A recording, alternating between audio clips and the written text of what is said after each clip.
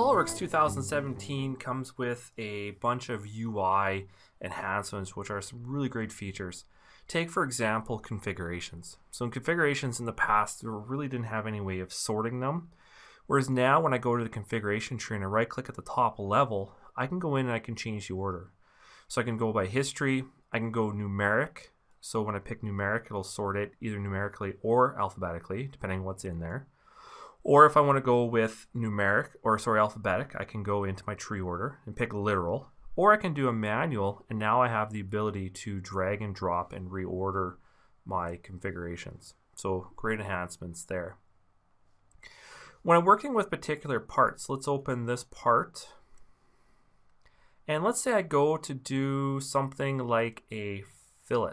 So I'm going to apply a fillet.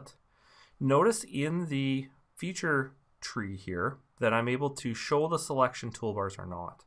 So if I come in here and pick something, notice how the selection toolbar is present and notice the X at the end. So I can either click the X to close it or I can say, you know what, don't show that to me because it, you know, it gets in the way or I never use it. So I now have the ability to turn that off or, or turn on.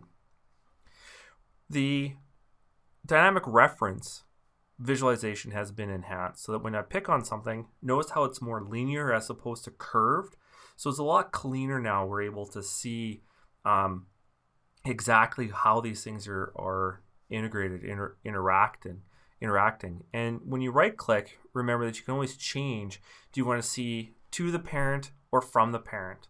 So if I don't want to see the children ones, so notice that when I pick on this, then I'm only getting a very simple view of you know in one direction. So in that direction is what it's what it's showing me. So great cleanup in that area. It's personally my favorite enhancement in the visualization area.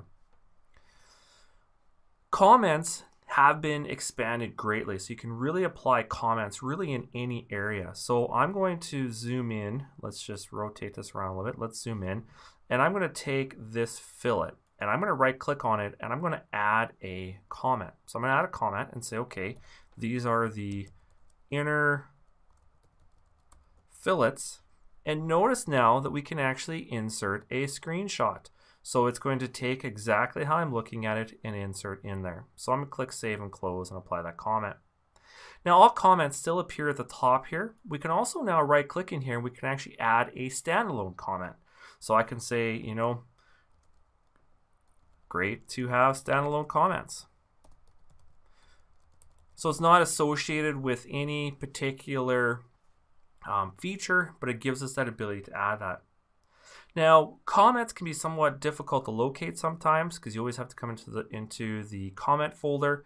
So because of that, if I right click at the very top level and I go into my tree display options, notice at the bottom I can show the comment indicator. So now I can see that there's a comment on here. As I hold my cursor over it, I get a preview of what that comment actually is. So a great way to be able to kind of quickly determine, oh, there's a comment there. Let me go see what's on there without having to go into the comment folder. So great um, way method there.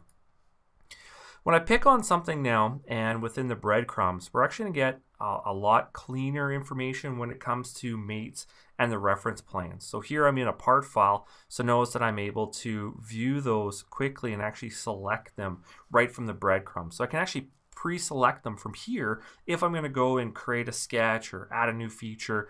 And if I right click, I'm now right clicking on that particular feature. So if I want to turn the visibility of that feature on, I can quickly do that. So in the areas of mates and um, reference planes, great way to have that integrated in there. Okay, well, now that I've got that selected, let's actually um, add a sketch to that plane. And in the areas of the shortcut menus, they've really put a lot of effort into standardizing them and kind of making them more efficient. And I think the best example of that is the sketch entities panel. So you can see that this flyout is extremely cleaned up. Um, it actually fits here in a nice compact area. So that long sketch entity flyout is gone, yet all the tools are still here. So you can see that in this kind of grid style, everything's there.